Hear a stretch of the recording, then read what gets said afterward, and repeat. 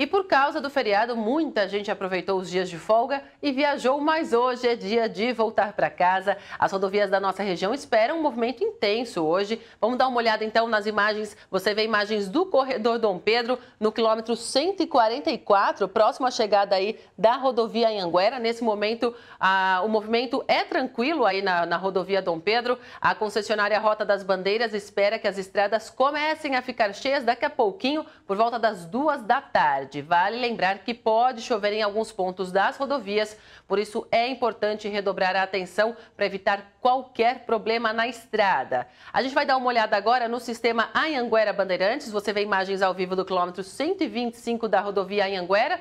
Trânsito também bastante é, é, tranquilo aí nesse momento, né? Agora no quilômetro 134 da rodovia dos Bandeirantes, o motorista não enfrenta nenhum problema, nenhuma dificuldade. São esperados quase 300 mil veículos na volta desse feriadão, tanto na Anhanguera quanto na Bandeirantes. O horário de maior movimento deve começar daqui a pouco às 3 da tarde e vai até às 11 horas da noite.